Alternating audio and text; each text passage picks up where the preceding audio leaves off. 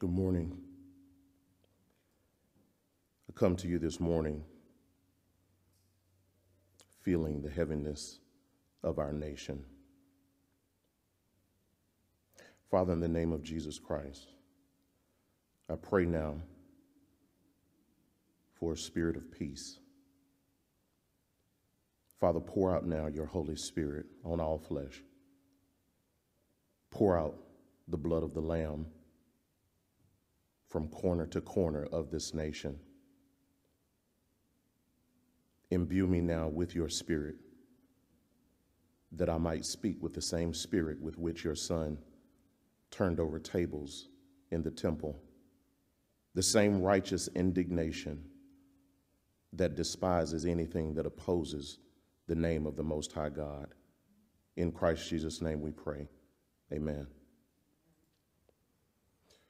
There was a young black woman, the age of 33 years old. She had worked a double shift, and when she arrived home from having taken the bus, she stepped off feeling as though it had all been worth it. She was making her way up the short driveway to her very first home. It was a small three bedroom that she shared with her soon to be 18 year old son, Andre. Though exhausted, her angst began to rise up because there were no lights on in the home.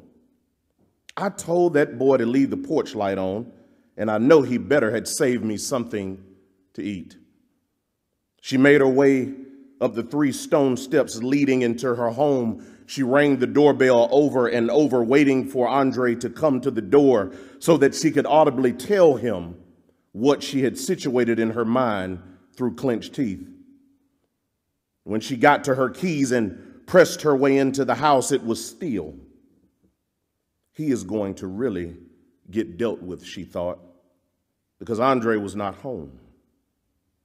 She took her shower and still no Andre. She positioned herself in her chair right by the door so that when Andre came in, she could quickly grab him as she often did by his collar and threaten his existence. As she began to nod off, there was a knock at the door. This boy, now he done lost his key. She opened the door expecting to see Andre, but there stood a patrolman. Ma'am, do you have a son by the name of Andre Williamson? What has he done? She asked. Tell me what he's gotten himself into. I moved here to get him away from, and the officer said, Ma'am, interrupting her. I'm sorry to inform you that he's deceased.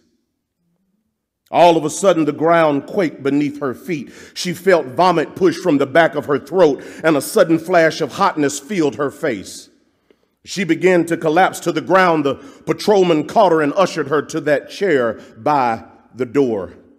When she had come to, the patrolman simply said, I, I need you to travel with me now downtown to make an identification. Was he shot? Ma'am, let's get there and another officer will have the details. When they arrived at the morgue, some of Andre's friends fell on her breast and began to weep. What happened? What did you do? What was going on? And all of the boys were wearing masks pulled just below their chins. We were out protesting and the cops fired tear gas and we all started running and Dre fell and hit his head and then he was trampled. How did you boys even get involved in this? We were marching peacefully, Miss Williamson, because a kid from the neighborhood was murdered. Some organizers asked if we would participate. What organizers? Take me to them. But Miss Williamson, no, take me to them now. They made their way with her on foot to the Boys and Girls Club. There was a little light on in the back, and the boys tried to restrain Andre's mother, but it was to no avail. She began knocking over everything in her path. Where is he? Where is he? Where is he? She finally reached the man. She said, You organized this. You got my son killed. She screamed and she spat until her rage turned white hot and until the point that she could not see. And again, she collapsed to the floor. She awoke to a man putting a cold compress to her head. She was completely exhausted now, and she could barely talk. How could you send those boys out to die?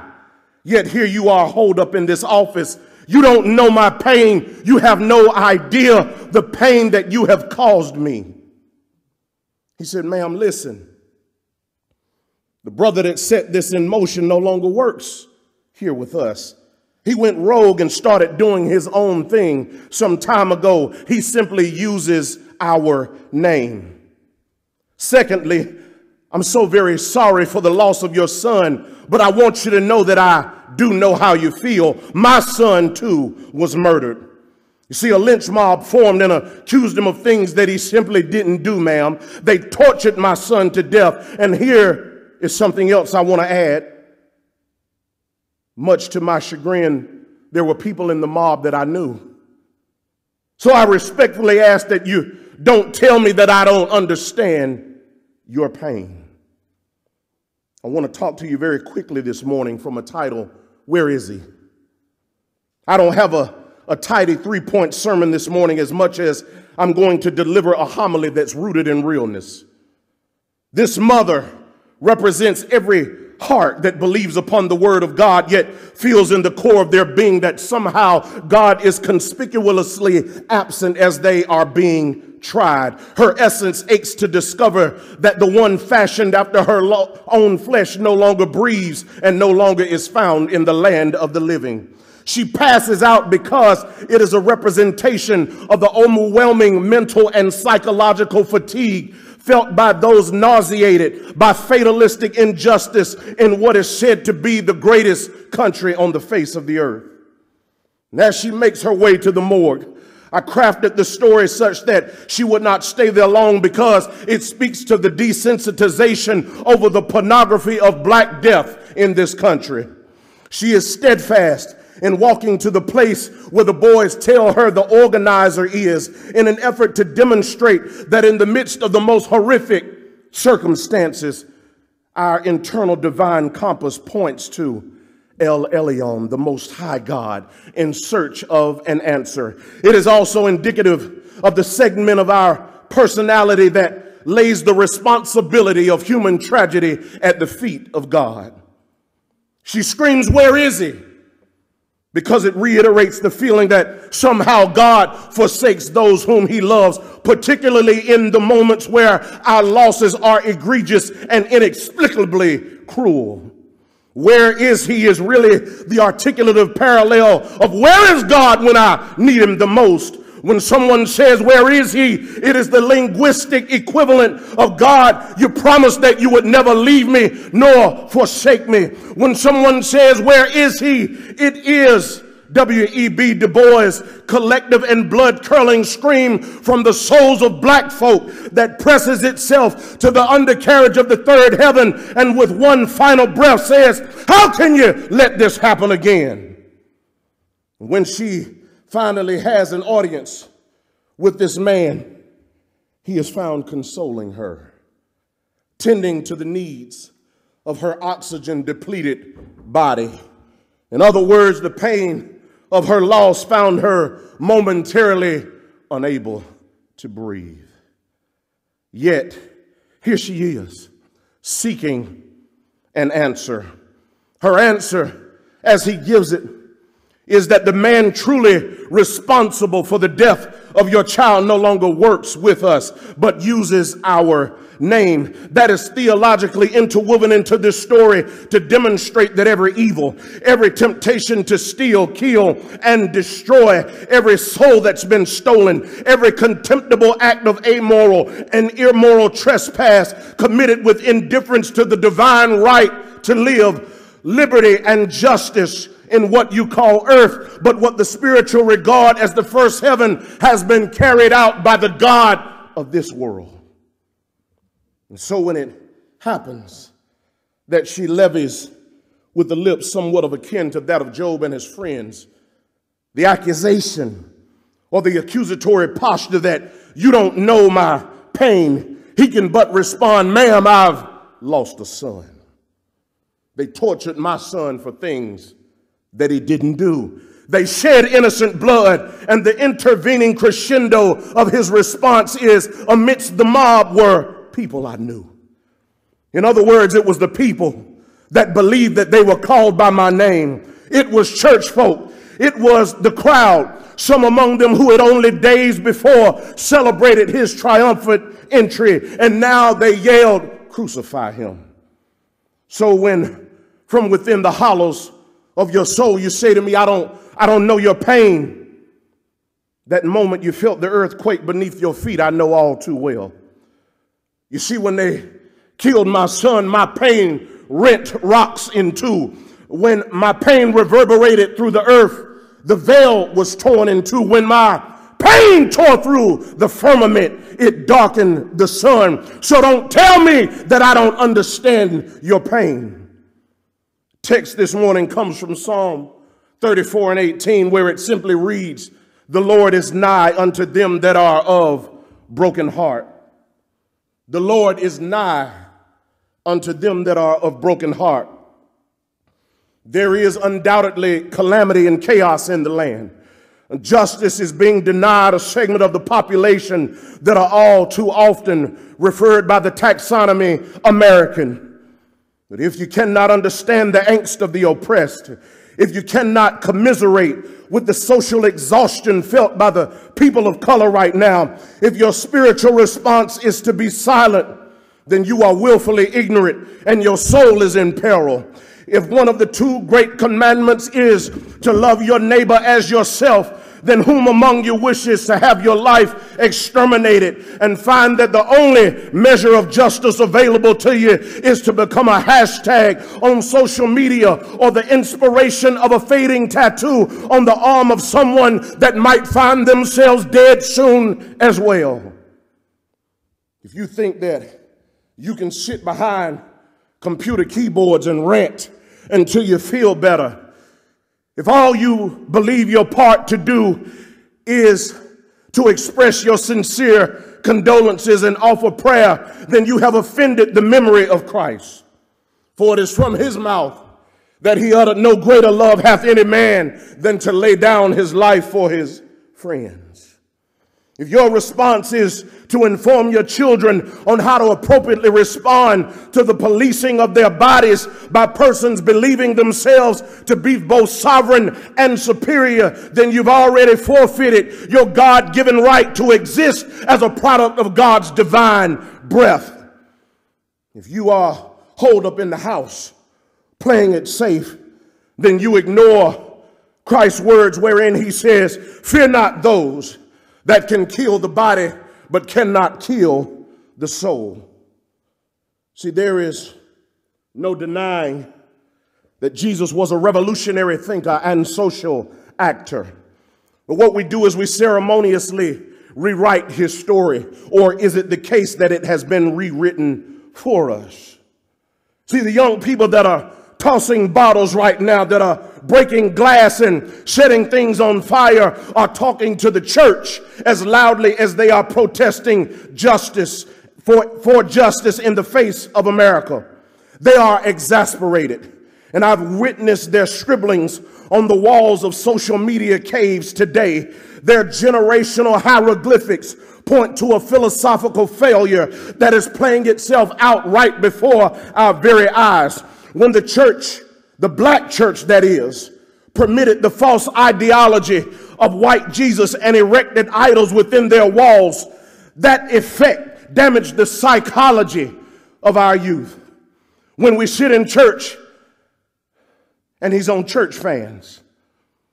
When America uses the name of God to justify its sovereignty in the world, when conquest and colonization occurred throughout the globe in the name of Jesus, whereby pillaging and rape and torture and murder was widespread and wanton, and we did nothing to redress it, we were bathing in our own blood.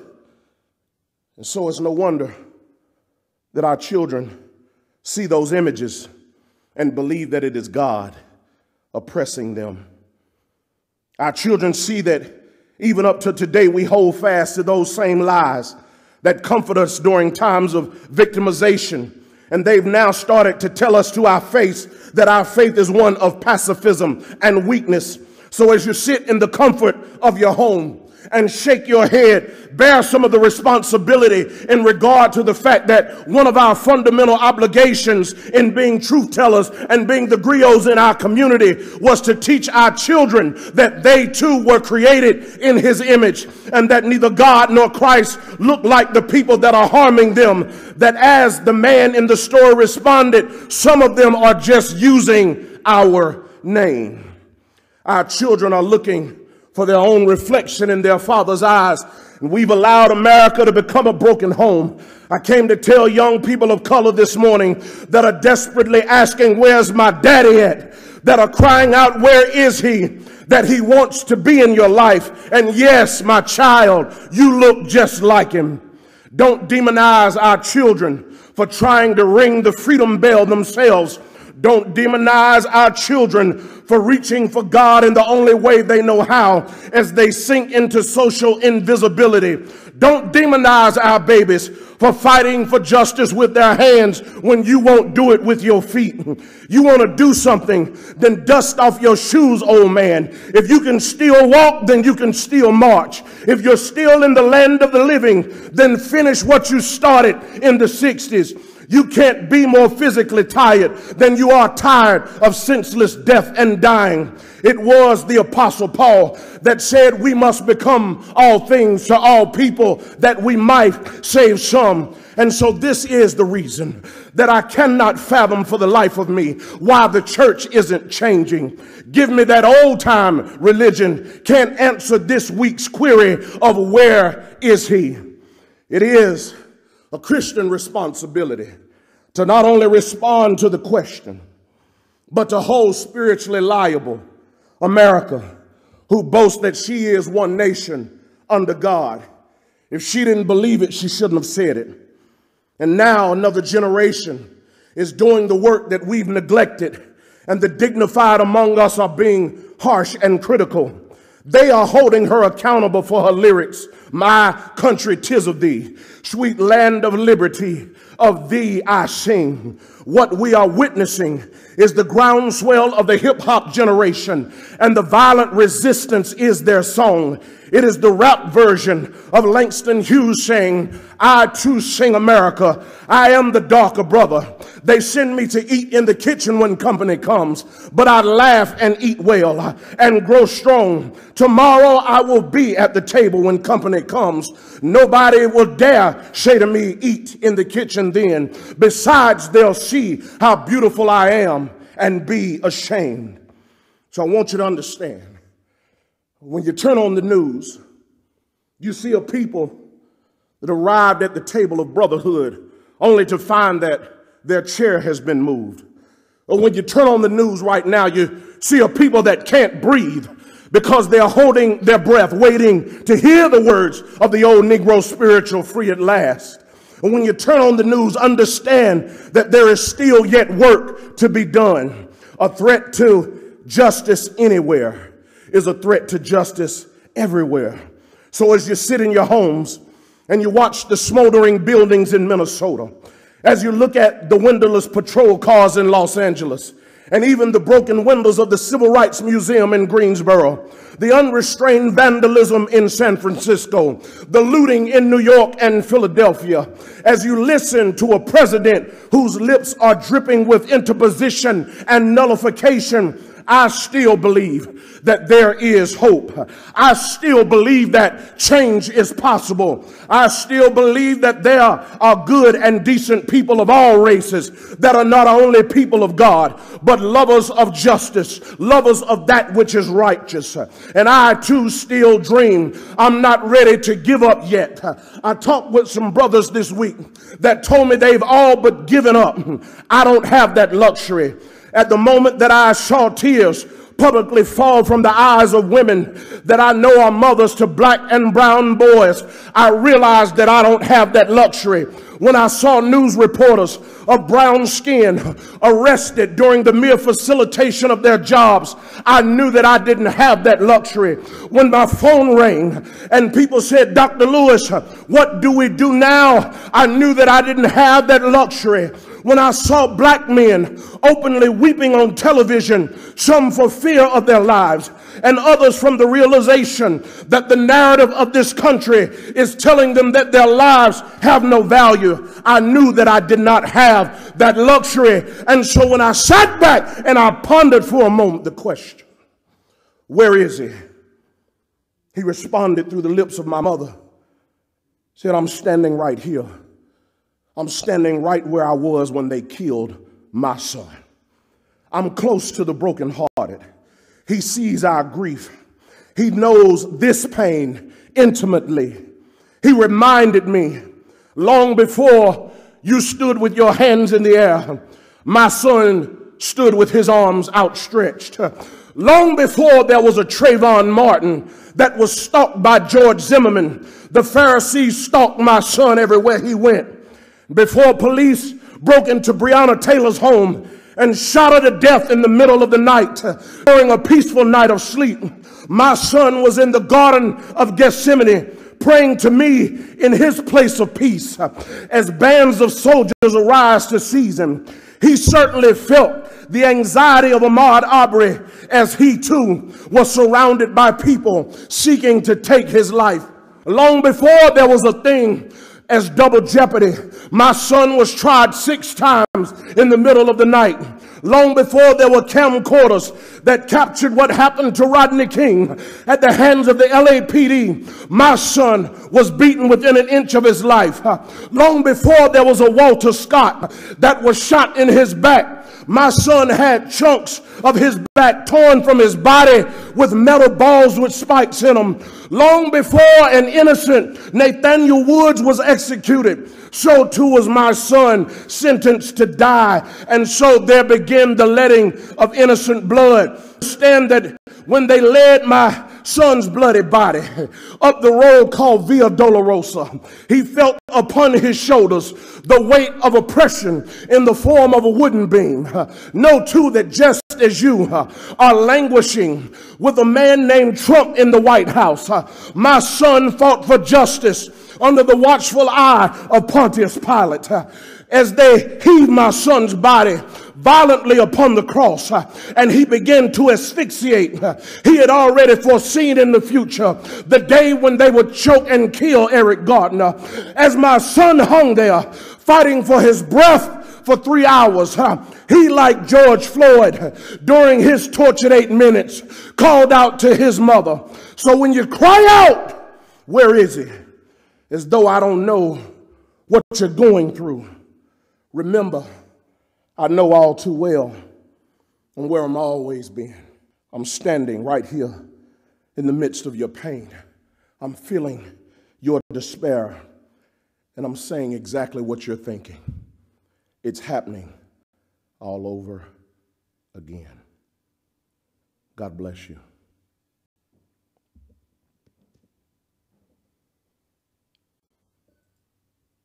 Good morning come to you this morning feeling the heaviness of our nation. Father, in the name of Jesus Christ, I pray now for a spirit of peace. Father, pour out now your Holy Spirit on all flesh. Pour out the blood of the Lamb from corner to corner of this nation. Imbue me now with your spirit, that I might speak with the same spirit with which your son turned over tables in the temple, the same righteous indignation that despises anything that opposes the name of the Most High God. In Christ Jesus' name we pray. Amen.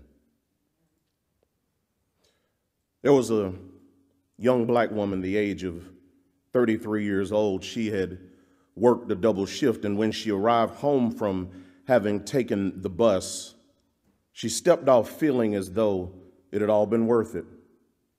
She was making her way up the short driveway to her very first home.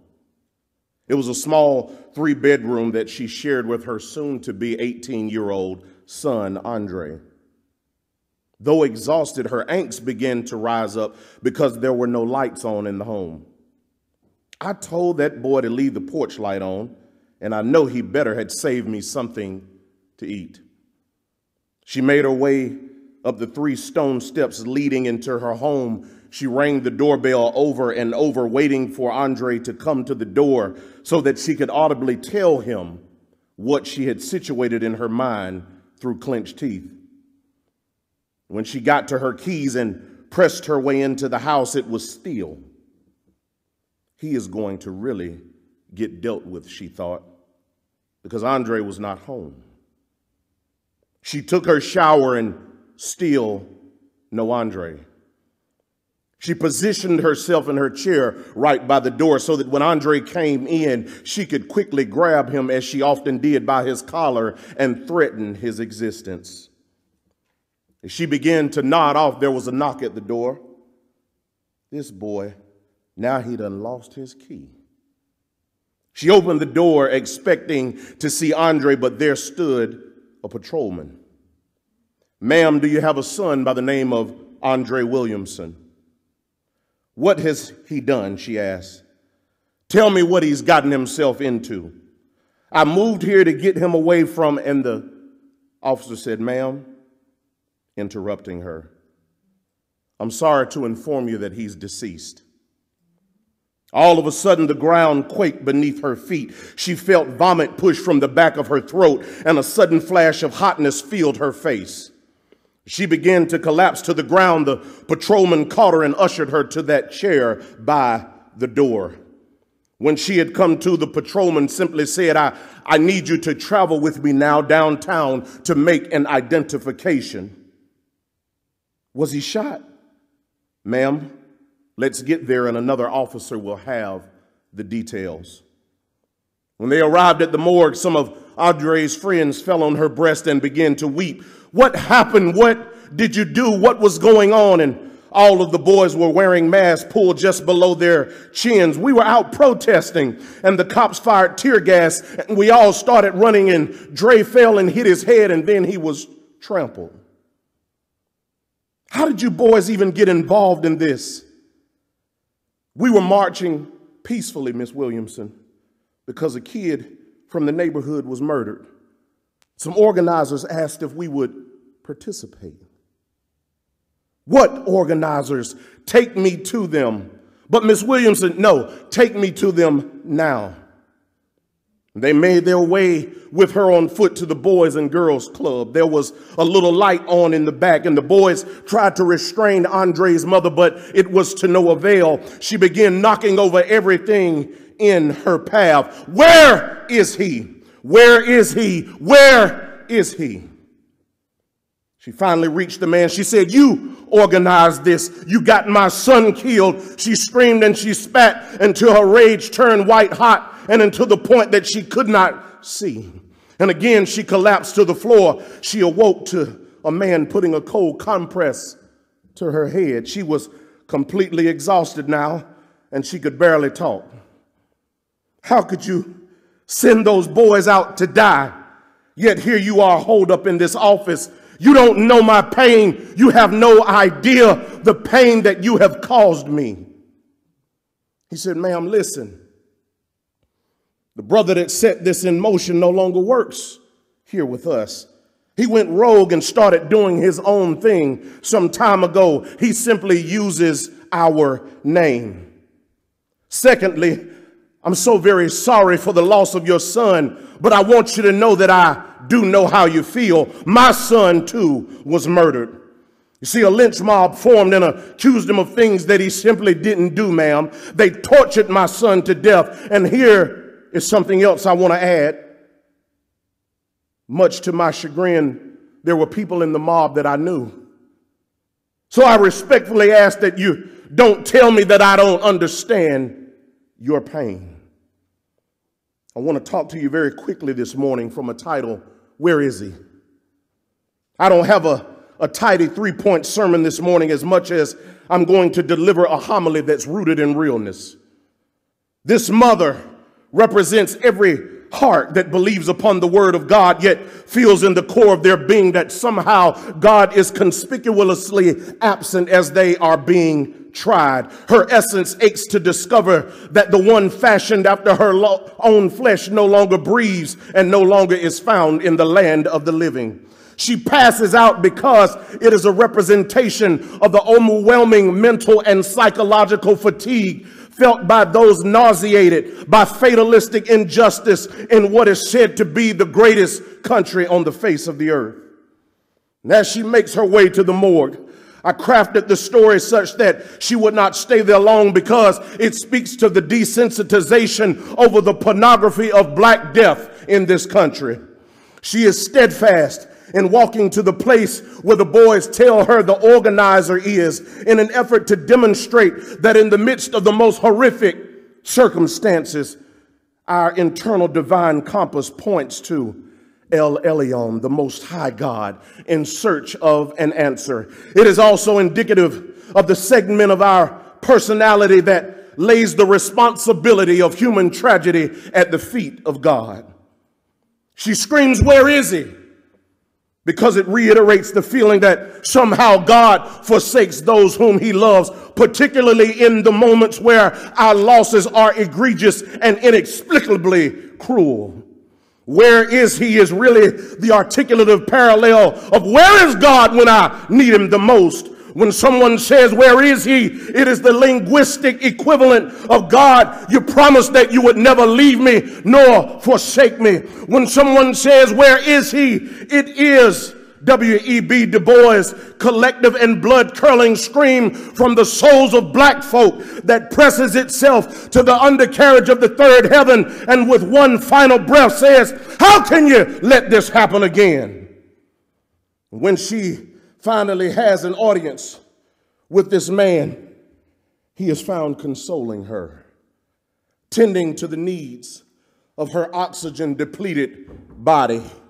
In other words, the pain of her loss found her momentarily unable to breathe. Yet, here she is, seeking an answer. Her answer, as he gives it, is that the man truly responsible for the death of your child no longer works with us, but uses our name. That is theologically interwoven into this story to demonstrate that every evil, every temptation to steal, kill, and destroy, every soul that's been stolen, every contemptible act of amoral and immoral trespass committed with indifference to the divine right to live, liberty, and justice in what you call earth, but what the spiritual regard as the first heaven has been carried out by the God of this world. And so when it happens that she levies with the lips somewhat of akin to that of Job and his friends, the accusation or the accusatory posture that you don't know my pain, he can but respond, ma'am, I've lost a son. They tortured my son for things that he didn't do.